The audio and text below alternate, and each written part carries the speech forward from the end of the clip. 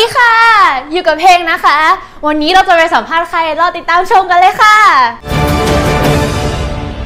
คอนเสิร์ตที่จะจัดเป็นคอนเสิร์ตใหญ่วันที่ 1 มีนาคมนี้นะคะ ก็เป็นรู้สึกว่าเราดีใจที่เราได้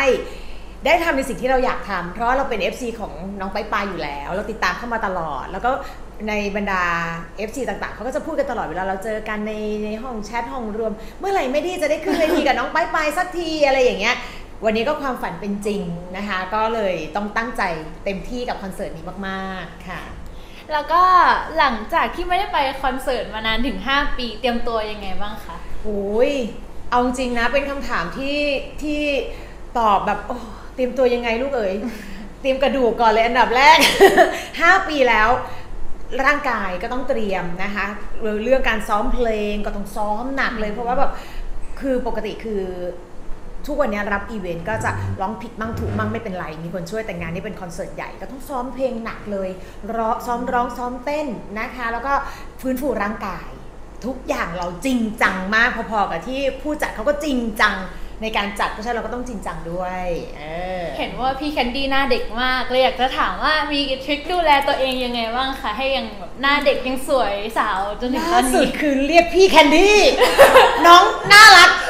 ารย์คะให้ผ่าน กี่ผ่านก็ผ่านไปเลย ทุกคนเรียกแม่ดี้เลย นี่เรียกพี่แคนดี้นะคะ ก็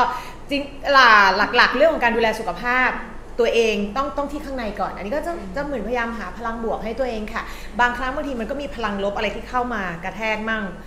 ก็จะใช้วิธีการดีดพลังลบนั้นออกให้ แล้วก็พยายามคิดบวก แล้วก็อยู่กับการทำงานที่ที่มันมีความสุขเป็นตัวเรา แต่เรื่องของการดูแลสุขภาพร่างกายจริงอันนี้ขายของได้ใช่ไหมคะได้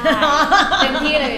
ก็คือตอนนี้ก็คือใช้ Candy Blink นี่ อันนี้มันจะเป็นอีกหนึ่งเทคนิคนะลูก เวลาที่หนูนำเข้ายิงคือดีมาก เวลาที่แบบว่าศิศิลปินเนี่ยเขาอยากขายของเขาจะพูดอันนี้ได้เลยนะ เออ ก็ใช้ Candy Blink ค่ะ ช่วงนี้ก็เป็นเอ่อนวัตกรรมใหม่ที่นำเข้ามาเป็นเหมือนลักษณะเป็น Snow Bright Lock ค่ะ เป็นครีมเซรั่มที่มี tone up ทาปุ๊บก็คือโทนนะ up หน้าปั๊บเลยเหมือนตอนนี้ค่ะไม่ได้ก็ใช้อยู่เห็นไหมคะ หน้าสวยใสแบบนี้เพราะ Candy สวย bling มากค่ะอุ๊ยอุ๊ยอะไรเนี่ย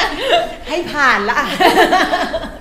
ตอนนี้ก็คือวง BUS เป็นกระแสอย่างมาก ในฐานะ คุณน้าของพี่เอเอวง BUS รู้สึกยังไงบ้างคะอ่โหเป็นความปลาบปลื้ม เพราะว่าอย่างเราอยู่กับเอเอตั้งแต่เกิดตั้งแต่วันแรกที่เขาเกิด เราจะรู้เลยว่าน้องเอเอเนี่ย ไม่เราไม่เคยคิดว่าเขาจะมาสายบันเทิงได้เลย นอกจากเล่นกีตาร์นะคะเพราะว่าเขาเป็นคนพูดน้อย แล้วเขาก็เต้นไม่เก่ง เขาพูดน้อยเต้นไม่เก่งเนี่ยมันจะไม่สามารถเป็นศิลปินได้ แต่ด้วยความที่ทางพี่ยงนะคะแล้วก็ทางทางทีมครูเนี่ยเขาสอนสอนสอนสอนสอนฝึกเทรนจนเอได้เดบิวต์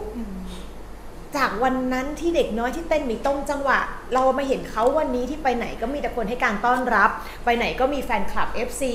เข้าไปดูใน t ิ k t o k ไถดูก็เห็นมีแต่วงบัส เด็กๆทั้ง 12 คนที่ที่ที่ถูกคัดมาแล้วทุกคนเก่งหมด รวมกันแล้วก็คือกลายเป็นวงบัสที่สมบูรณ์แบบ แล้วหลานเราเป็นหนึ่งใน 12 คน เราก็เลยรู้สึกว่าเฮ้ยเราภูมิใจอะปลื้มในจากเด็กเนิร์ดในวันนั้นอะกลายเป็นแบบเด็กที่แบบ ประกายออร่าในวันนี้ก็ดีใจแล้วก็ขอบคุณทุกคนมาก ๆ ที่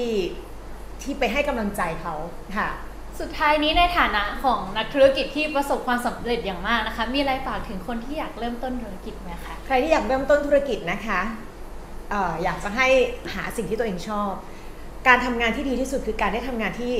เราสนุกเรามีความรักนะคะแล้วเราเราก็รู้สึกสนใจในสิ่งนั้น มันจะทำให้เราเนี่ยสามารถที่จะทำอะไรได้อย่างดีเยี่ยม และที่สำคัญที่สุดในการทำธุรกิจไม่ว่าจะเรื่องอะไรก็แล้วแต่ให้โฟกัส อันนี้เป็นสิ่งที่สำคัญนะคะ หลายคนบอกฉันเก่งหลายด้าน นั่นเป็นสิ่งที่ดี ดีไว้กับตัวเองดีแล้ว แล้วค้นหาสิ่งที่เป็นตัวเองให้ได้หนึ่งอย่างหรือสองอย่างแค่นี้นะคะ แล้วมุ่งทำตรงนั้นให้ดีที่สุดค่ะ เป้าหมายจะได้อยู่ไม่ไกล ไม่ต้องคดเคี้ยว มุ่งตรงไปเลยนะคะ ที่สำคัญก็คือเชื่อมั่นในความสามารถของตัวเอง แล้วทำไปให้ดีที่สุดค่ะ